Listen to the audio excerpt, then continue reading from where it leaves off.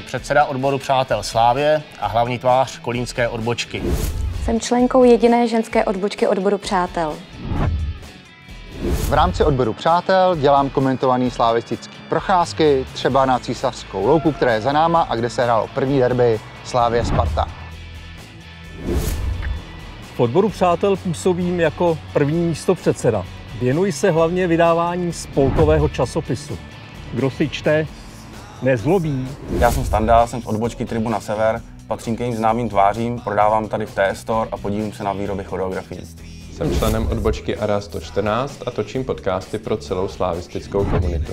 Já se zabývám dějinama Slávě a pátrám v archivu v rámci historické sekce odboru Přátel. Jsem předseda odboru Přátel SK Slávě Praha odbočky Strakonice.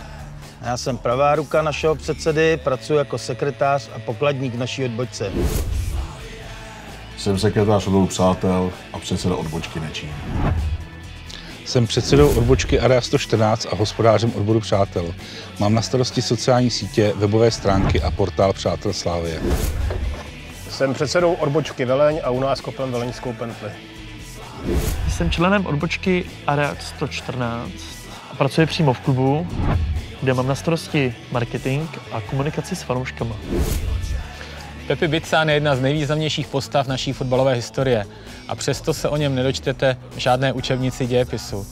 A to byla motivace, proč jsme s Mírou Pomikalem přišli s projektem Univerzita Slávě, se kterým již sedm let objíždíme Českou republiku. Jsem člen výboru odboru Přátel, starám se o archiv odboru Přátel a sbírám artefakty z historie fotbalového klubu SK Slávia. Čau, jsem předseda odbočky z Rožďalovic. Většina rožďalovických bije srdcem sešívaným a postavili jsme si tuhle krásnou klubovnu. Jsem Miroslav Dlouhý, bydlištěm v Bělé pod Bětězem a jsem členem Slávě od roku 1965.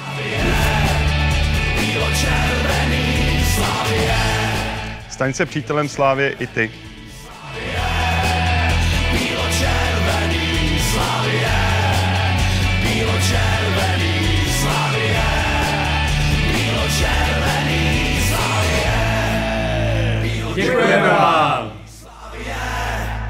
Bílo-červený Slavě, bílo-červený Slavě, bílo-červený Slavě.